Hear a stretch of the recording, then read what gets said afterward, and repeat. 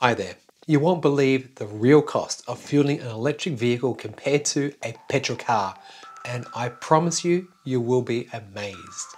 But first, a quick explainer and the reason that I made this video. I keep getting asked by people or in comments below, mate, your electricity bill must be huge. Or I hear from someone, hey, I heard from a mate that, you know, they're not as cheap to run as they say they are. Or worse still, you've seen this viral video that made him out to be more expensive than a petrol car being fueled with 98 unleaded. Struth. Well, the actual truth will shock you.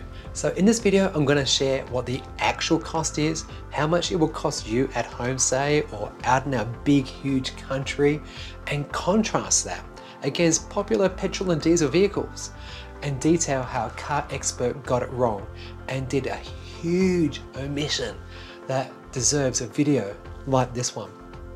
My name's Chris and I cover electric vehicles from an Aussie perspective. If you find this video useful, please subscribe, share it with your friends, especially the ones who don't believe you, because the truth, it will absolutely shock them. First up, these expensive charging stations and inefficient charging habits. Now, answer this honestly. Would you buy your petrol from here, here, or here. They are literally meters from each other. You would go to the cheapest one, right? After all, the cents per litre difference adds up when you put in 50, 60, 70 litres into your tank.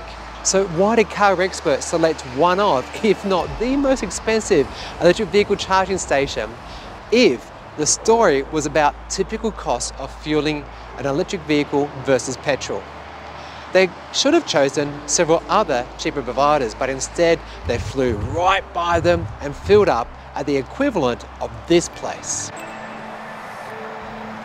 Second issue, they wasted a lot of time filling the battery to 100%.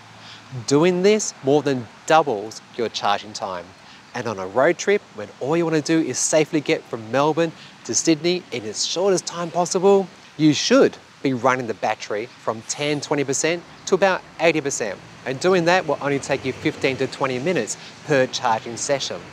What they did, almost empty to 100%, taking in an hour is ridiculous. You can see the difference, right? So what does a road trip in an electric vehicle look like? You stop every two to three hours for 15 minutes or so, which is a safe way to drive, meaning you can get a bite to eat, a coffee, maybe go to the toilet, and be on your way again. And sure, you're going to stop maybe three times going Melbourne to Sydney, but you're going to be doing it way faster and way safer. Next up, what Car Expert did was try to make out that this was representative of electric vehicle ownership and what the electric costs will be for you. But if you could afford a BMW i7, would you really be driving from Melbourne to Sydney? Maybe, but if it was me and I could afford a $300,000 car, I would probably fly at the point of a plane and hire an electric car when I was in Sydney. No, what they should have done is given a realistic portrayal of what electric cars you can get right now in Australia. There are plenty out there with 100 kilowatt hour battery packs, but importantly, there are many out there that are way more efficient than the BMW i7. For instance, a Tesla Model 3 or Y, like my one, runs about 25 to 40% more efficient than a BMW i7.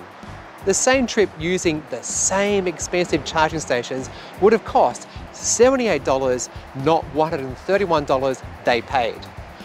$50 difference. In fact, if I had charged at cheaper fast charging sites, the trip would have only cost $45. That's an $86 saving. This is the reality of road trips away from home using paid fast chargers. Oh, and if you have solar and maybe a fixed electricity plan like I'm on, that gives us free electricity from 11am to 2pm every day, or just 8 cents per kilowatt hour overnight. That means I can fuel this car from absolute empty to full for just $4.80, or even $0. Depends if I'm home.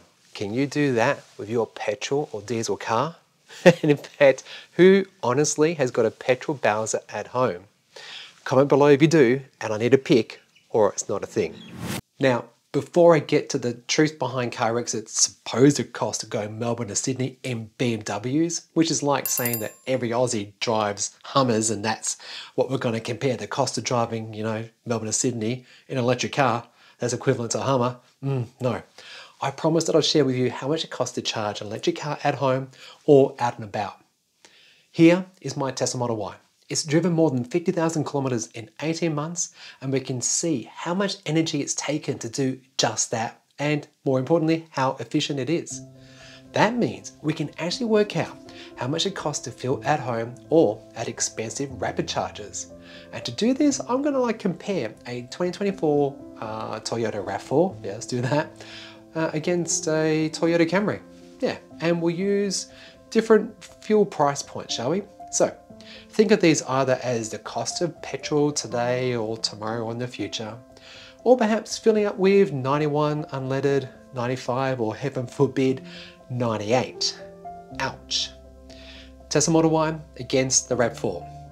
It would cost to fill the Tesla for 50,000 kilometers between two and $2,700 using these various electricity prices. Pretty impressive, right? That's almost $5,000 difference. Five grand. And remember, I actually haven't spent this much because as I mentioned earlier, we either get free electricity during the day or we pay just 8 cents per kilowatt hour overnight. So that would mean a total fuel bill of, wait for it, $619 for 50,000 kilometers. How much was your last tank of fuel? comment below. I'd like to know because I'm going to guess that it's probably about $100. Yeah, and you do that every what week or two.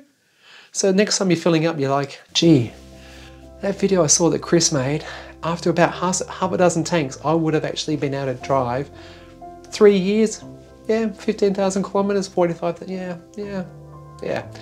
It's substantial, right? Okay, have I convinced you yet? No? Okay then.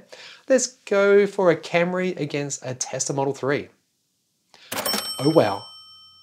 My gosh. Crikey. Five to almost $6,000 difference. But wait, I can imagine the comments below. Yeah, but Chris, I can't charge at home. What would it cost me? Sure, here you go. Tesla Model Y, $4,646.40. A Model 3, 4,300 and some change. And that is using ChargeFox charges, which are double of what you pay at home typically, and honestly, the chargers that Car Expert should have been using, or Tesla, or name any other EV charging brand out there basically. Still, a good saving of a few thousand dollars, right? And this, again, is from rapid charging sites. Now, before I get to the big bombshell, have you considered subscribing? It absolutely helps out the channel and Things like commenting, sharing this video, liking it, they all help as well. So thanks in advance. Okay, so are you ready for this? Are you sitting down? Car Expert's trip actually cost them zero dollars. Zip, nada, nothing. That's right, because the BMW i7 comes with free, unlimited charging from ChargeFox. Okay, so that Melbourne to Sydney trip, no dollars. Melbourne around, well, all around Australia infinitum for five whole years, no cost. But when you've got a clickbait title like Same Cars, Electric versus Petrol Challenge, people will click on it and reinforce misinformation already fed to them by news agencies who want to kill the electric car because they want, that they have way, you know, like electric cars, this one here, they have way cheaper fueling costs almost no maintenance. And fossil fuel companies like these guys and these guys, they'll be put out of business. So I hope you can now see that their story wasn't entirely truthful, nor did they do a good job of actually sharing the realities of electric vehicle ownership. EVs are more efficient than similarly sized petrol or diesel vehicles. Most Aussies can charge at home for free or at one tenth the cost. Now, do you want this sort of fuel bill or do you want this sort of fuel bill? That's the sort of difference I'm talking about. And if you do lots of driving, you, going electric is absolute, absolute no-brainer. So if you are out and about on the road and you can only charge at these sort of places, and if you're going from Melbourne to Sydney or interstate anywhere, taking that break every three to four hours, I think is a totally great idea. It's safe for everybody.